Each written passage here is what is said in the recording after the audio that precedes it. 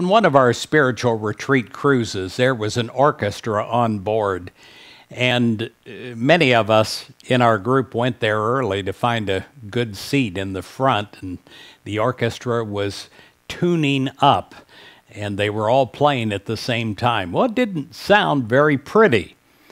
The notes that come out of an orchestra as the players are tuning their instruments, they're not in harmony.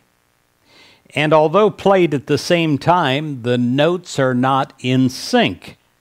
However, once the curtain opens and once the conductor's baton begins the tempo, the resulting harmony and melody is a blending of notes in perfect concert. Well, the same is true for us. When we are in accord with the will and the work of God, our individual prayer is very important, but when united with others, it becomes like a concert of prayer. Many people that are tuning in to our meditation television channel and praying for 20 minutes or so in meditation with us say there's something beyond the words that happens.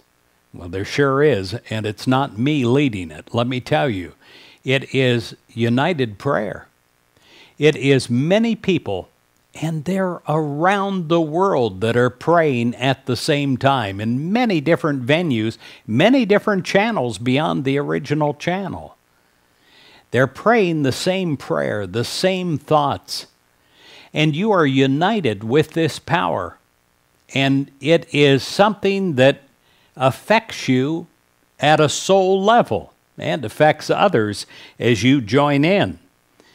As you unite, you are giving prayer, you're also giving faith, and you're in concert with others thinking the same way.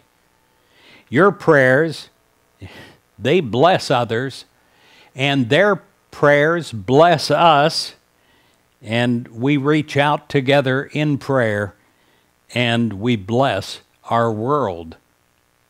I pray that you are in concert with others in your prayers. I pray that you feel the power of united prayer. I pray that you feel the effects of united prayer. It says in Isaiah 55, verse 11, So shall my word be that goes out from my mouth. It shall not return to me empty well, this is the way prayer is it is a spiritual dialysis, it is a powerful activity where human mind sends up thoughts and then it comes back to you multiplied many times over. And it has a power to uh, cause a transfusion in you that is pure and complete and beyond anything that you can even conceive of in human mind in the beginning. Even for a minister, that is true. I pray that you're blessed. I pray that you're blessed with a concert of prayer.